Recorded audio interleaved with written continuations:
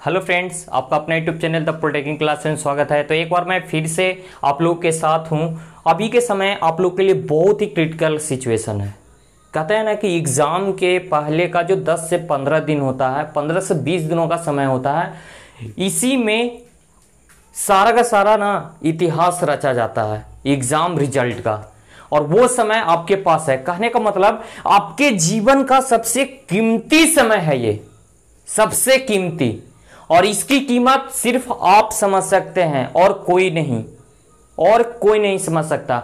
और मैं जानता हूँ कि आप लोग बखूबी इस टाइम का इस्तेमाल करना चाहते हैं तो मैं आप लोगों के लिए आज बहुत अच्छी बातें पाँच से दस मिनट में बहुत अच्छे सजेशंस देने वाला हूँ। एग्ज़ाम टाइम कैसे प्रिपरेशन करना है, इससे रिलेटेड दो बातें याद रखिएगा। अपने आप को कभी यह महसूस नहीं होने दीजिएगा कि मैंने तो अब सब कुछ कर लिया। जिस दिन आपने ये सोचा कि मैंने तो सारा सब्जेक्ट कंप्लीट कर लिया। बस उसी दिन आपका द एंड हो गया। अपने आप को क्या याद दिलाना है कि हमने कर लिया, लेकिन अभी और करेंगे। फिर से क्या करेंगे? तो जो कर लिए हैं, उसको फिर से रिवीजन करेंगे। कहने का मतलब बार बार कोशिश करना है बार बार रिवीजन करना है ट्राई करना है। एक ही क्वेश्चन को बार बार पढ़ना है। जब तक पढ़ते रहिए, जब तक कि आपका अभी एग्ज़ाम कंप्लीट ना हो जाता है। ऑल टू ऑल पेपर का रिवीजन इस तरह से करिए करते रहिए, लिखते रहिए, पढ़ते रहिए पढ़ते रहिए, लिखते रहिए लिखते रहिए, पढ़ते रहिए, लिखते रहिए, पढ़ते रहिए। बस इसको बस इसी में घुमा फिरा के इस माइंड को इसी में लगाए हुए रखिए।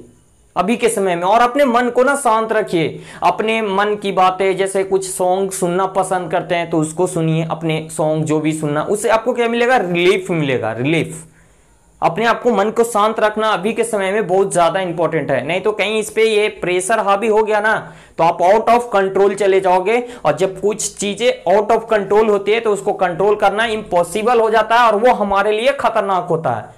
नुकसानदेह होता है। तो इस बातों को ध्यान में रखिएगा। तो चलिए ये कुछ बातें आज जानते हैं सक्सेस सक्सेस क्या है? कह रहा है कि सक्सेस की सबसे खास बात होती है कि वो मेहनत करने वालों पे फिदा हो जाती है। फिदा। फिदा। तो आप फिदा हो जाइए किसके ऊपर? मेहनत करने के ऊपर। तो उसके बाद सक्सेस भी आप पे फिदा हो जाएगी। और मैं जानता हूँ कि आप लोग बखूबी मेहनत करते हैं, पर मेहनत करने का भी एक क्या होना चाहिए? सही डायरेक्शन होना चाहिए कि हमें किस तरह मेहनत करना है। जैसे देखिए, आप सोच करके देखिए, आपका जो एग्ज़ाम होता है वो डिस्क्रिप्टिव होता है। सत्तर नंबर के क्वेश्चन आते हैं, जिसमें से 20 तो ऑब्जेक्टिव होते हैं, एक नंबर के 20 ऑब्जेक्टिव क्वेश्चन होते हैं, बाकी चार नंबर के पाँच क्वेश्चन और चार नंबर के छह नंबर के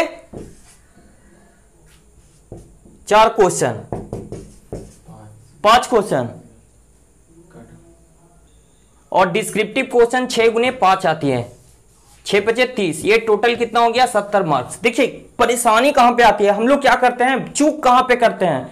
रट लेते हैं, याद कर लेते हैं, पर लिख करके अभ्यास नहीं करते हैं। वहाँ पे जाते हैं, चार नंबर वाले क्वेश्चन पाँचों को कैसे डील करना है? पता चलता है, पाँच नंबर चार नंबर वाला क्वेश्चन पाँचों बना रहे हैं, तब तक हमारा दो घंटा बीत जाता है। लास्ट के एक घंटे में ये छह नंबर वाले पाँच क्वेश्चन हमको कंप्लीट करने होते हैं। तो इन सारी कंफ्यूजन ये ऐसी परेशानी आपके साथ ना हो, इससे बचिए। और क्या करिए? तो क्या करिए? क्या करिए? तो बार बार लिख करके अभ्यास करिए। अभ्यास करिए। लिख करके लिख करके लिख करके, पढ़िए, लिखिए पढ़िए लिखिए पढ़िए लिखिए पढ़िए, लिखिए और सारे सब्जेक्ट को बारी बारी से पढ़िए, लिखिए। यही एक मौका है, आखिरी मौका कहते हैं, हर एक के लूजर्स को विनर बनने का एक मौका ज़रूर मिलता है। तो सिक्स सेमेस्टर आखिरी सेमेस्टर है आपका तो हर एक लूजर को विनर बनना। विनर बनना है आपको, अब ये आपको सेलेक्ट करना है कि आपको विनर कैसे बनना है। तो कैसे बनना है? तो लिख लिख करके अभ्यास करना है। तो इस सारे को जब आप बिनर जैसा अभ्यास कर लोगे, मेहनत कर लोगे तो आपको क्या करना पड़ेगा? एक आपको एग्ज़ाम देना पड़ेगा। और वही एग्ज़ाम है क्या? एसबीटी का एग्ज़ाम सेम टू सेम उसी पैटर्न पे आपके लिए एग्ज़ाम से पहले एग्ज़ाम एग्ज़ाम से पहले एग्ज़ाम कंडक्ट कराया जा रहा है, जिसमें आपको क्या होगा? ये आपने कितना पढ़ा, इसको जानने का मौका मिलेगा। जान जाइएगा, समझ जाइएगा तो उसके बाद अगली बार जो गलतियाँ इस बार होगी, उसको आप नहीं करिएगा।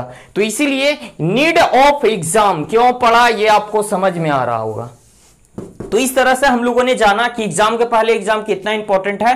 तो आप एग्ज़ाम के पहले एग्ज़ाम सेशन में ज्वाइन हो सकते हैं। द पॉलिटेक्निक क्लासेस बोध गया रोड बुद्धा अपार्टमेंट के सामने आपका स्वागत करती है। एग्ज़ाम के पहले एग्ज़ाम सेशन में इस में जो फॉर्म फिलअप का डेट है, वो एक सितंबर आपका स्टार्ट हो चुका है। आप में इसमें फॉर्म फिलअप कर सकते हैं। और आठ तारीख से होने वाले एग्ज़ाम में, आठ से लेकर के बारह तारीख को जो होने वाला एग्ज़ाम है, उसमें आप अटेंड कर सकते हैं। इलेक्ट्रॉनिक्स इंजीनियरिंग के स्टूडेंट के पास आप इस वीडियो को सेंड कर दे ताकि वो फोर्थ सेम के हो या सिक्स सेमेस्टर के हो, इसका लाभ उठा सके। तो बने रहिए तो पॉलिटेक्निक क्लासेस के साथ और भी ज़्यादा अपडेट के लिए। और किसी तरह की कोई भी प्रॉब्लम होती है, कमेंट करके ज़रूर बताएँ।